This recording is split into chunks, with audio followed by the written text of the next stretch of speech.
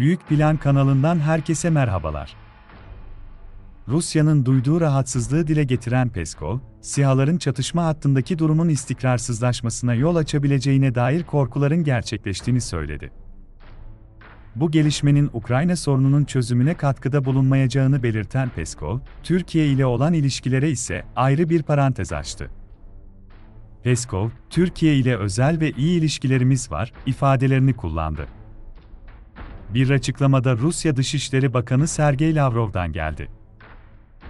Donbas'taki mevzilerde Bayraktar TB2'nin kullanıldığını ilişkin bilgiyi teyit etmeye çalıştıklarını söyleyen Lavrov, NATO'ya mesajı göndererek Ukrayna'daki durumu herkesin düşünmesi gerektiğini vurguladı. Agit özel misyonu kanalıyla konuya ilişkin nota gönderilmesine rağmen sonuç alınamadığı aktarılan açıklamada, ayrılıkçıları ateşkese zorlamak için Bayraktar TB2 SİHA'nın ilk kez kullanıldığı ifade edildi. Dünyada ve Türkiye gündeminde olan en güncel haberler için kanalımıza abone olmayı unutmayınız, esenlikle kalın.